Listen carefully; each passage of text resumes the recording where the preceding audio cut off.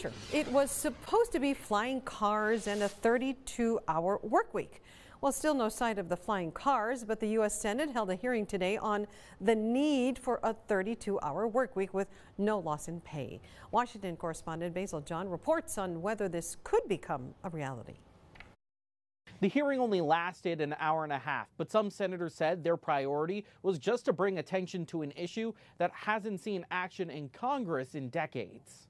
Vermont Senator Bernie Sanders said it's time to cut down the number of hours Americans are allowed to work weekly. In fact, the last time, as we understand it, the Senate held a hearing on this subject was in the year 1955. With advancements in technology, Sanders said a 32 hour work week should be the norm, with many working Americans now more productive than ever. Despite an explosion, as we all know, in technology and a massive increase in worker productivity, nothing has changed. Despite his push, Republicans like Indiana Senator Mike Braun fear a federal mandate would crush small businesses. I'm not worried about big corporations.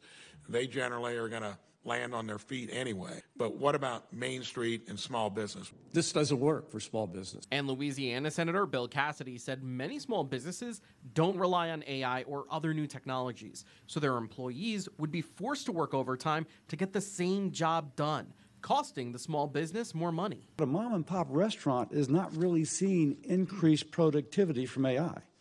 They're having trouble finding enough people to fill shifts. Cassidy also noted there is no law in place stopping companies who want to implement a 32 hour work week on their own.